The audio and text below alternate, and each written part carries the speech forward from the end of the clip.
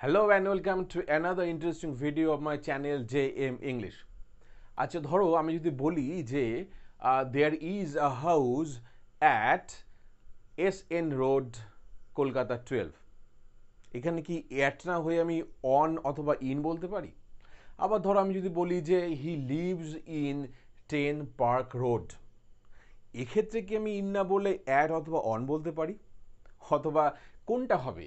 In the Taj hotel অথবা at the Taj hotel আসলে এই যে তিনটে প্রিপোজিশন ইন অ্যাট অন অর্থাৎ প্রিপোজিশন অফ প্লেস এখানে স্থান বোঝাচ্ছে, এক্ষেত্রে আমাদের কিন্তু একটা কনফিউশন ক্রিয়েট হয়। আমরা এক্স্যাক্টলি বুঝতে পারি না যে কোনটা লিখব, কোথায় ইন লিখব, কোথায় অ্যাট লিখব রাইট আমাদের এক্সামে প্রবলেম হয়। আমরা যখন সেন্টেন্স লিখি কোনো রাইটিং স্কিলে সেক্ষেত্রে আমাদের সম্ভব অসুবিধা হয়ে যায়। বলবার সময় হয় অথবা ফিল ইন দ্য ব্ল্যাঙ্কস অথবা এমসিকিউ করতে গিয়ে আমরা ভুল করে থাকি। এক্স্যাক্টলি আমরা বুঝতে পারি না কোথায় কোনটা ব্যবহার হয়। এবার যদি তোমায় জিজ্ঞেস করি, তাহলে তুমি একটা বেসিক কনসেপ্ট বলবে, যেটা কম বেশি আমরা সবাই শুনে এসেছি বা হয়তো ওটাই মেনে থাকি। আমরা বলি কি যে ছোট স্থান বলতে অ্যাড বোঝায়, আর যখন আমরা বড় স্থান বলি, সেক্ষেত্রে ইন বোঝায়। আচ্ছা তুমি বলো যে কোনটা তুমি বুঝবে, কি করে বুঝবে যে এটা ছোট স্থান না বড় স্থান, যদি তুমি সেই স্থান সম্পর্কে না জেনে থাকো? রাইট আসলে এটা একটা রং কনসেপ্ট রং মেথ তো আমাদেরকে জানতে হবে এক্স্যাক্টলি কীভাবে ব্যবহার হয়। তো এই ভিডিওর শেষ পর্যন্ত দেখো, আমি এই অ্যাট ইন অন এই যে প্রিপোজিশন প্লেস এগুলো সুন্দর করে এখানে এক্সপ্লেন করেছি। এবং এক্সাম্পল দিয়ে তোমাকে দেখিয়ে দেবো যে কীভাবে ব্যবহার হয়। But but before you start with this video if you are new in this channel so don't don't forget to subscribe this channel and press the bell icon. তাহলে আরও আগামী আরও অনেক দারুণ দারুণ ভিডিও তুমি পেতে চলেছ। So without wasting time let start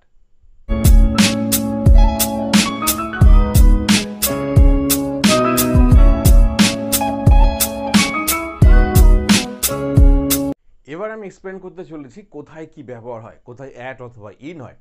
দেখো, মজার কথা হচ্ছে, এবার প্রথমে যে বিষয়টা আমরা বলব সেটা হচ্ছে আমি বলেছি অ্যাড্রেস অথবা ঠিকানা। তুমি যখন ঠিকানা বলছো যে আমি এই ঠিকানায় বাস করি বা সে এই ঠিকানায় থাকে, সেক্ষেত্রে আমরা প্রিপোজিশন কোনটা লিখব? অ্যাট লিখব অথবা ইন লিখব? সেটা জেনে নিই।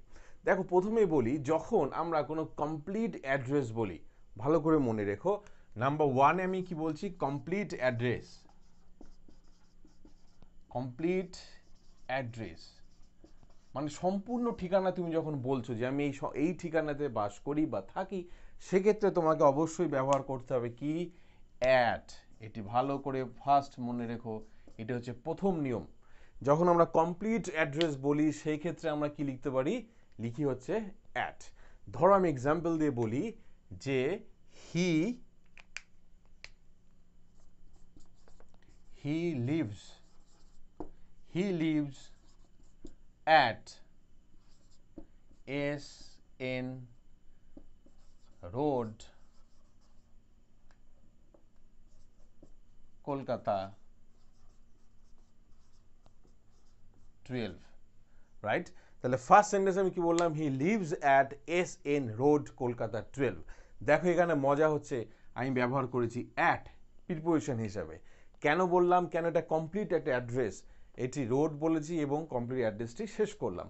অর্থাৎ যখনই তুমি কমপ্লিট কোনো অ্যাড্রেস বলবে, সেই অ্যাড্রেসে থাকে, সেক্ষেত্রে আমরা ব্যবহার করব হচ্ছে অ্যাট এবং এই ধরনের সেন্টেন্স আমরা এক্সামে প্রচুর পাই এবং এছাড়াও আমাদের প্রচুর রাইটিংয়ে লিখতেও হয় রাইট তো সেখানে এখানটা লিখব আমরা অ্যাট এখানে কিন্তু ইন অথবা অন কিছুই লিখব না রাইট এটা হচ্ছে ফার্স্ট এক্সাম্পল সেকেন্ড নিয়মে দেখো মজাটা কোথায়?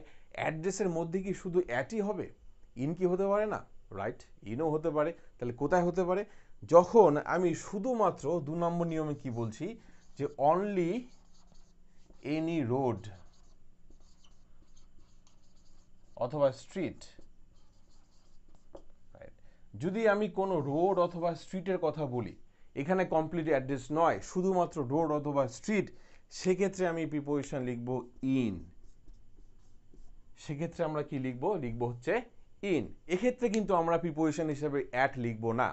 ধরো এই সেন্টেন্সটাকে যদি আমি লিখি এভাবে, যে he lives he lives in in S N Road right he lives in S N Road এখানে আমাকে লিখতে হবে ইন এখানে কিন্তু আমি আর অ্যাট লিখব না রাইট অ্যাট হবে না, আর এখানটা হচ্ছে ইন হবে না। তাহলে কি মজাদার বিষয় দেখো, একই অ্যাড্রেসের ক্ষেত্রে, দুটোর ক্ষেত্রে আলাদা আলাদা ইউজ হলো। যখন তুমি কমপ্লিট অ্যাড্রেস বলছো then you have to use at as preposition যখন তুমি শুধু কোনো রোড বা স্ট্রিট বোঝাচ্ছ, সেক্ষেত্রে তোমাকে লিখতে হবে হচ্ছে ইন রাইট এবার দেখো মজার কথা। তাহলে কি এবার কোথায় হচ্ছে? অ্যাড্রেসের ক্ষেত্রে এবার আমরা অন্যভাবে অনেক সময় বলি। ধরো কেউ কোনো অ্যাপার্টমেন্টে থাকে, কোনো অ্যাপার্টমেন্টে থাকে, সেই ক্ষেত্রে আমরা কি লিখব? বিল্ডিং অথবা অ্যাপার্টমেন্ট সেক্ষেত্রে আমরা কি লিখব? সেক্ষেত্রে লিখব হচ্ছে ইন তিন নম্বরে কি বলতে পারি? তিন নম্বরে বলছি আমি এনি অ্যাপার্টমেন্ট অ্যাপার্টমেন্ট অথবা বিল্ডিং এইগুলো যখন আমরা বোঝাই, সেক্ষেত্রে আমি প্রিপোজিশন কি লিখব? লিখব হচ্ছে ইন সেক্ষেত্রে আমি কি লিখব? লিখব হচ্ছে ইন তাহলে যখনই আমি অ্যাপার্টমেন্ট বলব বিল্ডিং বলব, সেক্ষেত্রে লিখব ইন অর্থাৎ হি লিভস ইন এই অ্যাপার্টমেন্ট ইন অ্যাপার্টমেন্ট তাহলে অ্যাপার্টমেন্টের আগে লিখতে হবে প্রিপোজিশন হিসাবে ইন আচ্ছা এবার আরও একটি মজা আছে। মজাটা কোথায়? দেখো, অনেক সময় আমরা বলি হচ্ছে ফ্লোর হিসাবে। First floor second floor third floor এক্ষেত্রে খুব কনফিউশন হয়ে যায়। হ্যাঁ এটা তো মানোই রাইট এক্ষেত্রে কনফিউশন হয়ে যায় যে কোনটা লিখবে? সেক্ষেত্রে তুমি কি ইন লিখবে না অ্যাট লিখবে? বলো দেখি, এই এক্সাম্পল দেখে? না, এইখানে কিন্তু এই এক্সাম্পলটি খাটে না। যখনই আমি কোনো ফ্ল্যাটের, ফ্ল্যাট মানে আমি ফ্লোর বলছি first floor second floor third floor সেক্ষেত্রে আমাকে লিখতে হবে হচ্ছে অন একদমই আলাদা এগুলো থেকে অন লিখতে হবে। অর্থাৎ চার নম্বরে আমি বলতে পারি যে কোনো ফ্লোর বোঝালে এনি ফ্লোর এনি ফ্লোর সেক্ষেত্রে আমাকে প্রিপোজিশন লিখতে হবে কি? প্রিপোজিশন লিখতে হবে হচ্ছে অন অন লিখতে হবে রাইট এক্সাম্পল ধরো আমি বলতে পারি যে on the second floor right Cello on the second floor অথবা তুমি থার্ড ফ্লোর বলো ফোর্থ ফ্লোর বলো, যা খুশি বলো, যে কোনো ফ্লোরের ক্ষেত্রে তোমাকে ইউজ করতে হবে হচ্ছে কি অন তাহলে মনে রেখো কমপ্লিট অ্যাড্রেস বোঝালে অ্যাট শুধু স্ট্রিট অথবা রোড বোঝালে ইউজ করতে হবে তোমাকে ইন কোনো বিল্ডিং অথবা অ্যাপার্টমেন্ট বললে সেখানে ইউজ করবে ইন এবং ফাইনালি যদি তুমি কোনো ফ্লোর বলো first floor second floor third floor then you have to use on আশা করি অ্যাড্রেস রিলেটেড এই যে একটা অসাধারণ একটা অদ্ভুত কনফিউশন ছিল, সেটা কিন্তু এবার থেকে কেটে গেছে রাইট এক্সাম্পল এবার দেখো নেক্সট নিয়মে আরও একটা মজার জিনিস। এবার দেখো অ্যাড্রেস তো হলো। এবার যদি প্লেস বোঝায় বিভিন্ন জায়গার ক্ষেত্রে, সেক্ষেত্রে কীভাবে হয় সেটা মজা করে ভালো করে দেখে নাও। ধরো, যদি কোনো স্থান বোঝায় যেটা হচ্ছে বিশেষ নাম বোঝায়, অর্থাৎ সেটা হচ্ছে প্রপার নাউন হয়। অর্থাৎ এনি প্লেস নিয়মে দেখো আমি বলতে পারি এনি প্রপার নাউন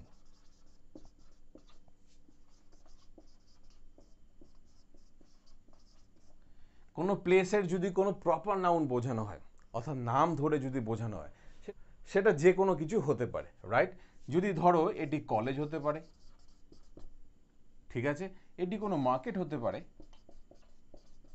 কোনো হোটেল হতে পারে রাইট যে কোনো জায়গা হতে পারে বাট সেটা হতে হবে কি প্রপার নাউন অর্থাৎ তার কোনো নাম রয়েছে। সেক্ষেত্রে আমরা কি করতে পারি? সেক্ষেত্রে ইন হবে? না অ্যাড হবে বলো দেখি। ধরো, আগে একটু, আগে একটি এক্সাম্পল দিয়েছিলাম, যে বলেছিলাম যে ধরো ড্যাশ থাকল, সেখানে রয়েছে কি যা তাজ তাজ হোটেল। রাইট তাহলে এইখানটায় যে তাজ হোটেল লিখলাম, এইখানে আমি কি লিখব? অ্যাট লিখব অথবা ইন লিখব অথবা অন লিখব। প্লেস হিসাবে কোনটা লিখতে পারি? তাহলে বলছি যে, যখন আমি হোটেল বলছি এবং এটির নাম বলে দিলাম, সেক্ষেত্রে আমরা কি লিখতে পারি? সেক্ষেত্রে কিন্তু অবশ্যই হয় হচ্ছে এই প্রিপোজিশনটা অর্থাৎ অ্যাট তাহলে যেখানে প্রপার নাউন দিয়ে কোনো প্লেস বোঝাচ্ছে কলেজ মার্কেট হোটেল যে কোনো স্থানের নাম যেটাতে একটি প্রপার নাউন থাকছে, নাম থাকছে, সেখানে আমাকে প্রিপোজিশন লিখতে হবে কি? প্রিপোজিশন লিখতে হবে হচ্ছে অ্যাট এখানে ইন হবে না ইন দ্য তাজ হোটেল এরকম নয় he was in the Taj hotel ভুল সেন্টেন্স হবে কি? He was at the Taj hotel right আমরা এখানে ভুল করে ফেলি, আমরা নর্মালি লিখি ইন তাই না? কিন্তু এখানে ইন হচ্ছে না, হচ্ছে কি? অ্যাট তাহলে ধরো তুমি একটি কলেজে একটি জায়গার নাম করছ, তুমি যখন বলছো যে they are dash the Presidency College. তাহলে প্রেসিডেন্সি কলেজ যখন স্পেশাল নাম বলছি, তাহলে আমরা কি লিখে দেব? দে আর অ্যাট করতে হবে। অ্যাট। অর্থাৎ এখানে একটি কি বোঝাচ্ছে? নাম বোঝাচ্ছে। অর্থাৎ প্রপার নাউন এক্ষেত্রে তোমাকে হবে হচ্ছে প্লেস হিসাবে অ্যাট এরপরে যদি না বোঝায় এরকম করে প্রপার নাউন না বোঝায় যদি কোনো স্থানের ইনসাইডে বোঝায়, অর্থাৎ দু নম্বরে আমি বলতে পারি যে ইনসাইড ভেতরে ইনসাইড অফ এনি প্লেস কোনো স্থানের ভিতরে যদি বোঝায়, তাহলে আমরা প্রিপোজিশন কি লিখব? সেখানে কিন্তু আর অ্যাট লিখব না, সেখানে লিখছি আমরা কি? ইন সেখানে আমরা লিখছি হচ্ছে ইন তাহলে এখানে দেখো হলো ইন আর যখন নাম বোঝাচ্ছি তখন হয়ে গেল কি? অ্যাট তাহলে আমরা নর্মালি আমরা কি বলি? যে he is in his own office he is in his own office সে অফিসে রয়েছে। অথবা বলতে পারলাম যে, ধরো একটি সেন্টেন্স বলছি যে there is there is no one there is no one in the house অথবা রুম রাইট সেই রুমে কেউ নেই, এক্ষেত্রে আমাকে লিখতে হবে কি? ইন যেহেতু আমি এখানে ইনসাইড বোঝাচ্ছি, কোনো কিছুর ভিতরে। অর্থাৎ কোনো স্থানের ভিতরে যখন বলছি, সেক্ষেত্রে হবে হচ্ছে ইন কোনো পার্টিকুলার প্রপার নাউনের ক্ষেত্রে হয়ে যাচ্ছে কি? অ্যাট এরপরে আরও একটি নিয়ম মজাদার ভালো করে দেখে নাও। আচ্ছা এবার এবার তো আমরা দেখে নিলাম যে কোথায় কীভাবে হচ্ছে। এবার নর্মালি যখন যেটা আর একটা প্রবলেম হয়ে যায়, ওই যে বলেছিলাম ছোট স্থান আর বড় স্থান, সেই ক্ষেত্রে তোমরা গুলিয়ে ফেলো।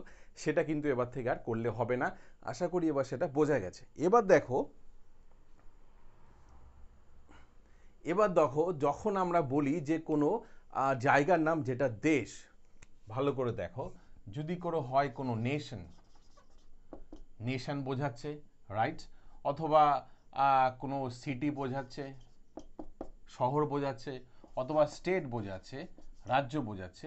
এক্ষেত্রে নেশন সিটি স্টেট এই ধরনের যে জায়গাগুলো যখন আমরা নাম বলি, সেক্ষেত্রে আমাকে প্রিপোজিশন লিখতে হয় কি? কোনটা? অ্যাট না ইন এখানে হবে ইন রাইট এখানটা করতে হবে কি?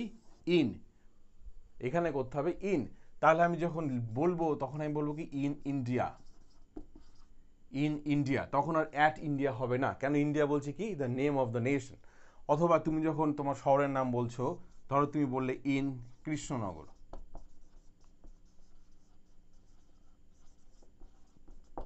এক্ষেত্রে আমাকে কি লিখতে হবে? ইন কৃষ্ণনগর রাইট তাহলে সেন্টেন্সটা কি হলো? I live I live in Krishnanagar. তাহলে আই লিভ অ্যাট কৃষ্ণনগরটা আমরা লিখছি না, লিখছি ইন কৃষ্ণনগর। অথবা তুমি যখন সিটি বলছো, তুমি স্টেট বলছো ওয়েস্ট বেঙ্গল বলছো, সেক্ষেত্রে তোমাকে লিখতে হবে হচ্ছে কি? ইন তাহলে যে কোনো দেশের নাম, রাজ্যের নাম, শহরের নাম, এক্ষেত্রে তোমাকে লিখতে হবে হচ্ছে ইন তাহলে এই হচ্ছে মোটামুটি একটি প্লেস রিলেটেড যত আমাদের প্রিপোজিশনগুলো রয়েছে, যেগুলো আমাদের কনফিউশন করে, আমাদের কনফিউজড করে দেয়, সেই জায়গাগুলো আমরা ক্লিয়ার হয়েছে। এবং আশা করি তুমি এই ভিডিও থেকে কিছু তো অবশ্যই নতুন কিছু শিখেছো, যেগুলো নিয়ে তোমার প্রবলেম ছিল, সেগুলো কিন্তু কেটে গেছে রাইট তো একটা লাইক তো অবশ্যই পাওনা থাকে এবং অবশ্যই কমেন্ট করে জানাও কেমন লাগছে এবং কি কি বিষয়ে ভিডিও করলে আরও বেশি হেল্প হবে। এবং অবশ্যই অবশ্যই don't forget to subscribe this channel share it with your friends right so thank you all of you for watching this video. Thank you